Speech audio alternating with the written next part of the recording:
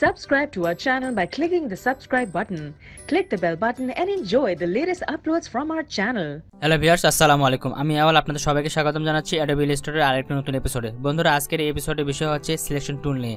Selection tool নিয়ে কীভাবে কাজ করতে হয়, তার এ টু জেড আজকে থাকতেছে। তাহলে চলুন টিউটোরিয়াল শুরু করে। তো বন্ধুরা সিলেকশন টুল নিয়ে কাজ করতে হলে প্রথমে এখানে আমাদের একটা শেপ তৈরি করতে হবে। তো শেপ তৈরি করার জন্য আমরা এখান থেকে যে রেক্টেঙ্গেল আইকনটি আছে এটাতে ক্লিক করব। ক্লিক করে এখানে আমরা বিভিন্ন ধরনের একটি শেপ তৈরি করতে পারি। তো এখান থেকে আমি একটা শেপ তৈরি করে নিচ্ছি। তো জাস্ট এইভাবে যদি আমরা ড্রা করে ছেড়ে দিই, একটা শেপ কিন্তু তৈরি হয়ে যাবে। এটা গেলে একটা প্রসেস শেপ তৈরি করার। আরেকটি প্রসেস হচ্ছে আমরা যদি এখান থেকে সিলেক্ট করার পর যদি মাউসে লেফট বাটন একবার ক্লিক করে এখানে ছেড়ে দিই, তাহলে এরকম একটি বক্স আসবে এবং এই বক্সে আমাদের সাইজ চাইছে যে কত সাইজ হাইট কত হবে এবং ওয়েট কত হবে। তো আমরা এখান থেকে কিন্তু লিখে দিয়েও সে কাজটি করতে পারি। তো এখান থেকে দিলাম আমি পাঁচশো, নিচে দিলাম তিনশো। অর্থাৎ ওয়েট দিলাম পাঁচশো এবং হাইট দিলাম তিনশো। যদি এখানে ওকে বাটনে ক্লিক করি, তাহলে দেখেন আমাদের কিন্তু এখানে একটি শ্যাপ তৈরি হয়ে গেছে। এভাবে কিন্তু আমরা কোনো শ্যাপ তৈরি করতে পারি। এখন এই সিলেকশন টুলের কাজ কি, সেই বিষয়টি এখন আমরা জানব। এই সিলেকশন টুলের কাজ হচ্ছে প্রথমত কোনো জিনিসকে সিলেক্ট করা। যেমন দেখেন, এখানে আমাদের শেপটি তৈরি করলাম, এটি এখানে সিলেক্ট করছি আমি। সিলেক্ট করার কারণে দেখেন চারপাশে যে পয়েন্টগুলো দেখতে পাচ্ছেন আমরা এখানে এখানে একটা পয়েন্ট এই জায়গায় আরেকটি পয়েন্ট এই জায়গায় একটি পয়েন্ট এই পাশে চারপাশে কিন্তু পয়েন্টগুলো আমাদের একটি একটি করে পয়েন্ট কিন্তু চলে আসে। এটি হচ্ছে আমাদের সিলেকশন টুল যখন আমরা সিলেক্ট করব, তখন কিন্তু এই পয়েন্টগুলো আসবে। তাছাড়া কিন্তু এই পয়েন্টগুলো আমাদের আসবে না। এই পুরা যে বক্সটি আছে, পুরো বক্সটিকে বলা হচ্ছে এখন আমাদের বাউন্ডিং বক্স এবং এই বক্সে যে কোণে যে পয়েন্টগুলো দেখতে পাচ্ছেন। এই পয়েন্টগুলোকে বলা হচ্ছে আমাদের রিসাইজ বক্স অর্থাৎ এই বক্সগুলোর মাধ্যমে আমরা আমাদের শেপটিকে ছোট বা বড় বিভিন্ন ধরনের কাস্টমাইজ করতে পারি। তো চলুন কীভাবে সে কাজটি করে আমরা দেখে নিই। তো দেখেন, এই শেপটি অর্থাৎ সিলেকশন টুলের প্রথম কাজ হয়, হচ্ছে কোনো জিনিসকে সিলেক্ট করা। দ্বিতীয় কাজ হচ্ছে এটাকে আমরা রিসাইজ করতে পারি। অর্থাৎ এই যে আইকনগুলো দেখতে পাচ্ছি আমরা, চারপাশে যে বর্ডারের যে ছোট ছোট ডটগুলো দেখতে পাচ্ছেন এগুলো হচ্ছে রিসাইজ বক্স এগুলো যদি আমি মাউসের কাঁচাটা নিয়ে যাই, তাহলে দেখেন এটা আমি বড় করতে পারি, এভাবে ছোট করতে পারি, বিভিন্ন আকার আকৃতি দিয়ে এটাকে আমরা কাস্টমাইজ করতে পারি। আমরা ছোট করতে পারি হাইটটা ওয়েটটাও ছোট করতে পারি, এভাবে ছোট করে রিসাইজ করতে পারি। এটা গেলো আমাদের সিলেকশন টুলের দ্বিতীয় কাজ।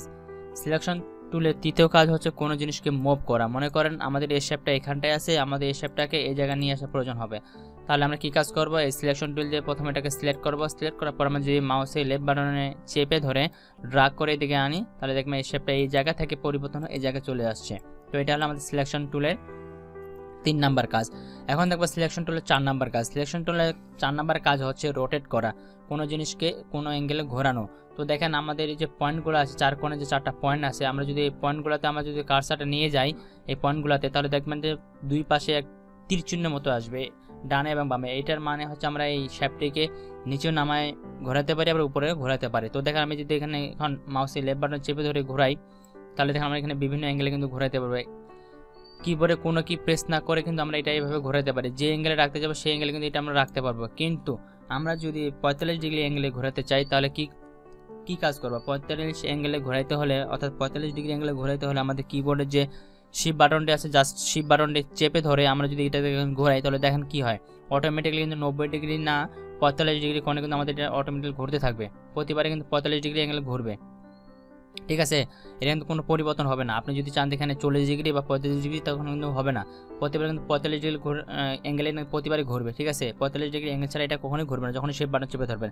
কিন্তু আপনি যদি শেপ বাটন ছেড়ে দিয়ে যদি জাস্ট এইভাবে ক্লিক করে রাখেন, এভাবে যদি ড্রাগ করেন, তাহলে আপনি যেভাবে রোটেট করতে চান, যে পজিশনে রোটেট করে রাখতে চান, সেই পজিশনে কিন্তু রোটেট করে রাখতে পারেন। তো আরেকটি এখানে কিবোর্ড শর্টকাট আপনাদের বলে রাখি, যেহেতু আমরা অ্যাডেবল স্টোরে কাজ করব সেই জন্য আমাদের সবসময় জন্য কিন্তু কিবোর্ড শর্টকাট ব্যবহার করতে হবে। এবং আমি কী কী কিবোর্ড শর্টকাট ব্যবহার করতেছি আপনাদের কিন্তু সেটা বলে দেবো। এই শেপটা যদি পূর্বে অবস্থায় ফিরে যেতে চাই আমরা, তাহলে আমাদের কিবোর্ড থেকে জ্যাট প্রেস করব। তাহলে কিন্তু আমরা পূর্বের অবস্থায় ফিরে যাব। অর্থাৎ ডু এবং আন্ডু এই শেপের কাজে করানো হয়। আন্ডু করা হয় শেপ কন্ট্রোল প্লাস ওয়াই আমি যদি এখান থেকে ক্লিক করি, তাহলে দেখবেন আমাদের যে পূর্বের শেপে ছিল, সেই পূর্বের শেপে চলে আসব। কন্ট্রোল প্লাস জেট আন্ডু করা হয়। এটা গেলো আমাদের সিলেকশন টুলের চার নাম্বার কাজ। এখন দেখব সিলেকশন টুলের পাঁচ নাম্বার কাজ। সিলেকশন টুলের পাঁচ নাম্বার কাজ হচ্ছে, আমরা যদি কোনো জিনিসকে কপি করতে চাই, সেই কপিটা আমরা এই সিলেকশন টুলের মাধ্যমে করতে পারি। তো কপি আমরা দুইভাবে করতে পারি, একটা হচ্ছে কিবোর্ড দিয়ে করতে পারি, অথবা এই যে অপশনগুলো দেওয়া সেই অপশনগুলোর মাধ্যমে করতে পারি। তো চলুন আগে অপশনগুলোর মাধ্যমে কীভাবে করতে হবে জেনে নিই। তো প্রথমে যেটা কপি করব সেটা সিলেকশন টুল দিয়ে এভাবে সিলেক্ট করতে হবে। সিলেক্ট করার পর আমাদের এখানে যে ইড অপশনটা আছে জাস্ট এই ইড অপশনে একবার ক্লিক করব। ক্লিক করলে নিচে দেখতে পাচ্ছেন এখানে আমাদের বিভিন্ন ধরনের অপশন চলে আসছে, যে কাট কপি পেস্ট এগুলো বিভিন্ন বিভিন্ন। তো এখান থেকে আমি কি কাজ করব যে কপি যে অপশনটা দেওয়া আছে, যদি আমরা এটাকে কপি করতে চাই জাস্ট এখানে কপি করব। কপি করার পর এখন আমরা যদি এটা পেস্ট করতে চাই, আবার এই এই অপশনটার মাধ্যমে পেস্ট করতে পারব। জাস্ট এই অপশনে একবার ক্লিক করব। ক্লিক করলে দেখেন এখানে আমাদের পেস্টের মোটামুটি তিনটি অপশন আছে। একটা হচ্ছে পেস্ট ইন ফন্ট অর্থাৎ এই যেটা আমরা কপি করলাম সেটা যদি উপরে পেস্ট করতে চাই, তাহলে এটার মাধ্যমে করতে হবে। পেস্ট ইন ব্যাক অর্থাৎ যে শ্যাপটি থেকে কপি করলাম সেই শ্যাপটির পিছনে যদি পেস্ট করতে চাই, তাহলে এই অপশনেতে ক্লিক করব। পেস্ট ইন প্লেস যদি আমরা অন্য জায়গায় এটা পোস্ট পেস্ট করতে চাই, তাহলে এই অপশনে ক্লিক করতে হবে। পেস্ট অন অল আর্টবোর্ড যদি আমরা পুরো পেস্টটিতে এটাকে পেস্ট করতে চাই, তাহলে পেস্ট অন আর্টবোর্ড তো এখান থেকে আমি জাস্ট পেস্টে ক্লিক করলাম। পেস্টে ক্লিক করার সাথে সাথে দেখেন এখানে কিন্তু আমাদের ওই শেপটি কিন্তু এখানে কপি হয়ে গেছে। তো এটা গেল কপি করার প্রথম ধাপ। এখন দেখব এটা দ্বিতীয় ধাপ কি? এখন মনে করি এই শেপটাকে আমি কপি করব। কিবোর্ড দিয়ে কীভাবে কপি করব?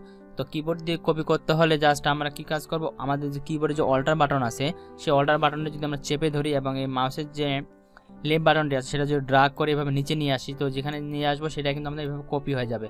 এটা গেলো কপি করার দ্বিতীয় ধাপ। আবার আপনি কপি করতে পারেন।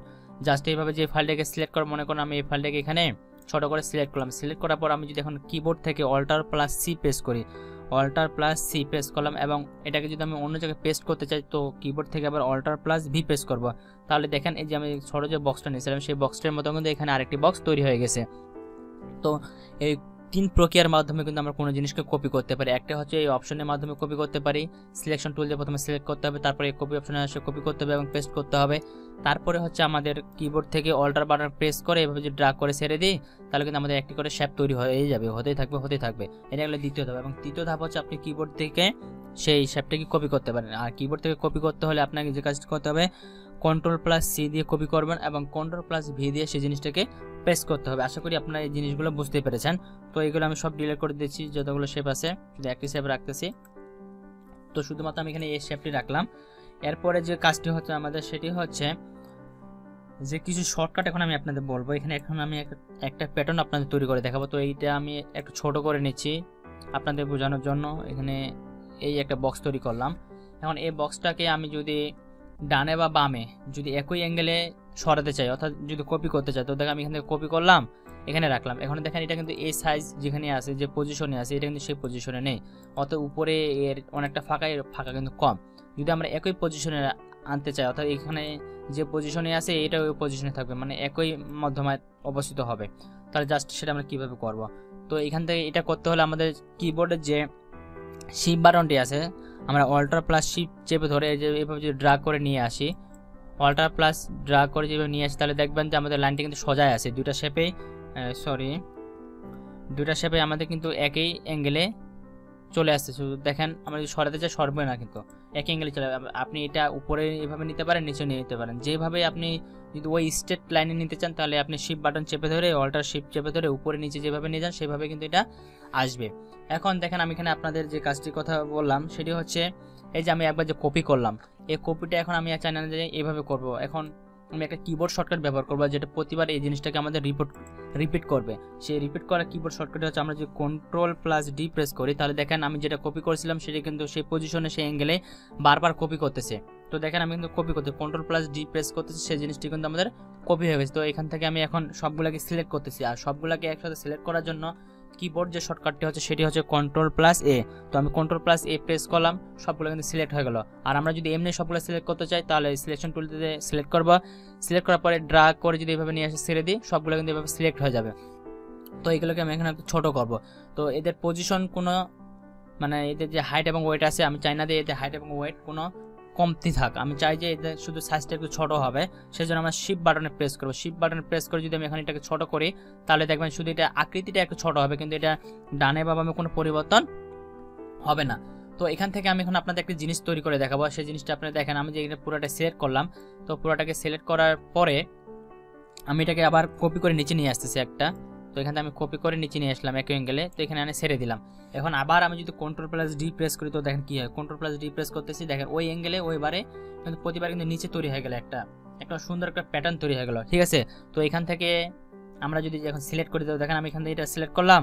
সিলেক্ট করার পর যদি আবার উপরে সিলেক্ট করতে চাই, উপরে সিলেক্ট করলে কিন্তু আমাদের নিচের সিলেকশনটা কিন্তু বাদ হয়ে যাচ্ছে, কিন্তু উপরে সিলেকশনটা থাকতেছে।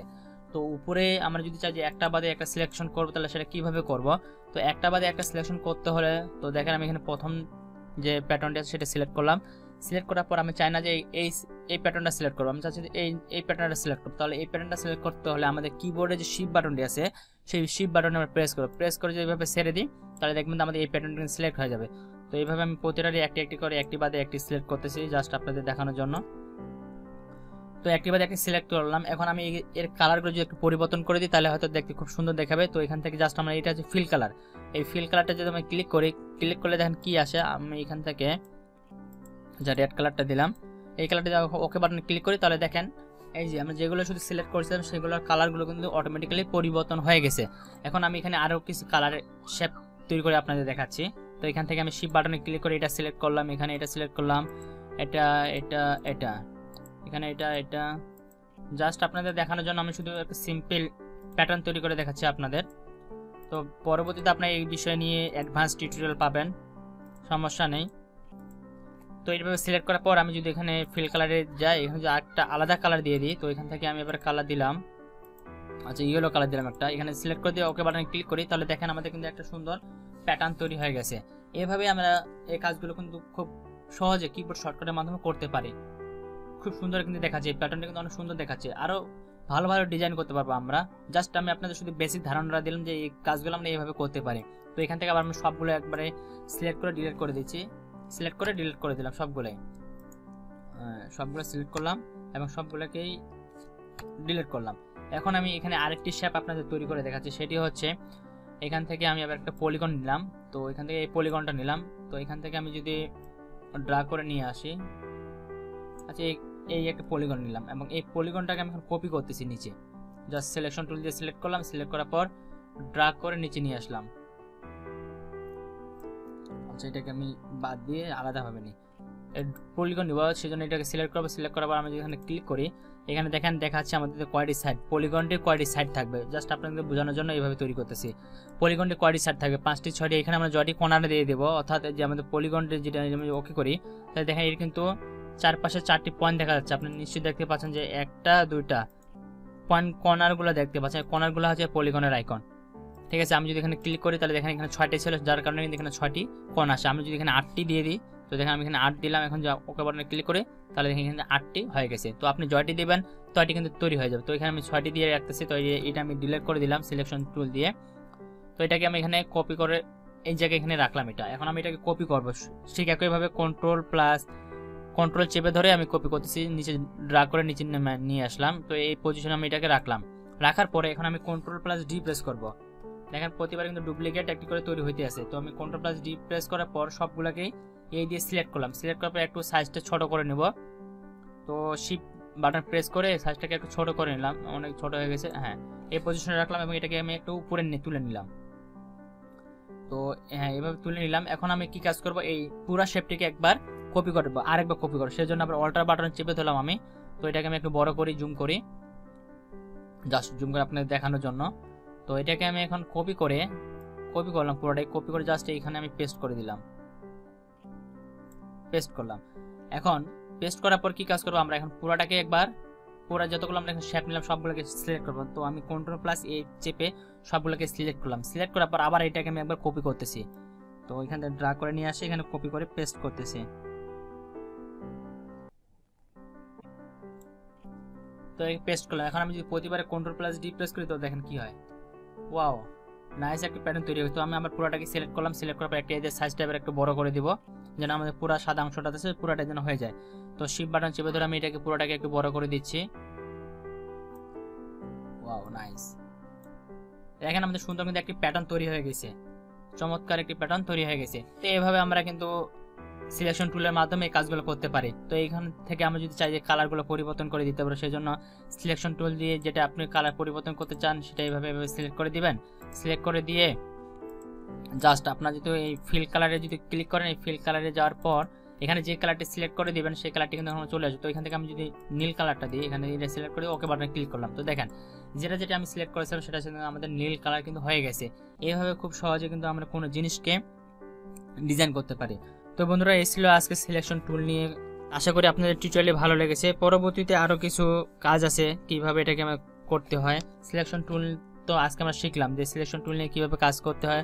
আর যখন পরবর্তীতে যখন কাজগুলো করব, তখন আরও হয়তো বা কিছু জিনিস আসতে পারে, সেগুলো পরবর্তীতে জানব। পরবর্তী টিউটোরিয়ালে আমরা শিখব কিন্তু এই সিলেকশন ডাইরেক্ট সিলেকশন টুল নিয়ে। আজকে শুধু শিখলাম সিলেকশন টুল নিয়ে। পরবর্তী টিউটোরিয়ালে শিখব আমরা সিলেকশন টুল নিয়ে। আমি যাচ্ছি যে আপনাদেরকে আমি একটা একটি করে অপশনের কাজ শেখাবো এবং সেই অপশনটির এ টু জেড যা আছে সব কিছু আপনাদের আমরা শেখাবো। জাস্ট আপনারা শুধু ধৈর্য সহকারে আমাদের ভিডিওগুলো দেখুন। আর আপনাদের এই ভিডিও সম্পর্কে যদি কোনো মতামত থেকে থাকে বা কথা যদি বুঝতে অসুবিধা হয় জাস্ট আপনারা এই ভিডিওর কমেন্ট বক্সে যদি কমেন্ট করে জানান, এই যে ধরনের প্রশ্ন হোক না কেন, আপনারা যে কোনো ধরনের প্রশ্ন করেন না কেন, আমরা জাস্ট ওই প্রশ্নটার উত্তর দিতে প্রস্তুত আছি। আপনারা শুধু জাস্ট প্রশ্ন করেন, যে জায়গায় বুঝেন না সেই জায়গায় আমাদের প্রশ্ন করেন, পরবর্তীতে আমরা সুন্দরভাবে বুঝে দেওয়ার চেষ্টা করব ইনশাল্লাহ তো আজকে টিউটোরিয়ালে এ পর্যন্ত, সবাই ভালো থাকবেন, সুস্থ থাকবেন, দেখাবে হবে পরবর্তী আরেকটি নতুন টিউটোরিয়ালে আল্লাহ হাফেজ। তো বন্ধুরা, এই ছিল আজকে টিউটোরিয়ালে আশা করি আপনাদের টিউটোরিয়ালে ভালো লেগেছে। যদি টিউটোরিয়ালে ভালো লেগে থাকে, এখনই ভিডিওতে একটি লাইক করুন কমেন্ট করে জানান কেমন হয়েছে। আর এখন পর্যন্ত যারা আপনার চ্যানেলে সাবস্ক্রাইব করেন প্লিজ চ্যানেলটি এখন সাবস্ক্রাইব করুন, পরবর্তী আপডেট সবার আগে পাওয়ার জন্য। তো সবাই ভালো থাকবেন, সুস্থ থাকবেন, দেখা হবে পরবর্তীতে আবার নতুন কোনো টিউটোরিয়ালে আল্লাহ হাফেজ।